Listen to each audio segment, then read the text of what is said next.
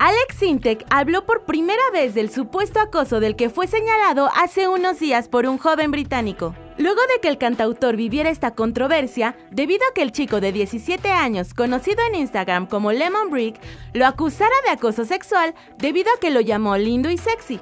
Esta mañana, en entrevista exclusiva con Jesse Cervantes, decidió aclarar la situación en la que se vio involucrado.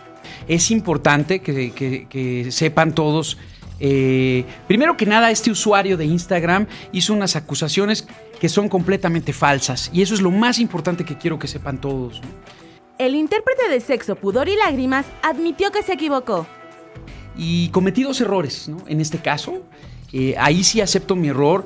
Eh, uno fue usar un par de palabras al inglés. Digo, tengo buen inglés, pero fueron dos palabras que se pudieron malinterpretar en este caso y luego pues continuar una plática con alguien que no conozco, con un tipo perfectamente desconocido para mí. El cantante aseguró que la moraleja es que hay que tener cuidado con las redes sociales y recomendó a los padres revisar con quién platican sus hijos en internet. Encuentra más notas como esta en exafm.com.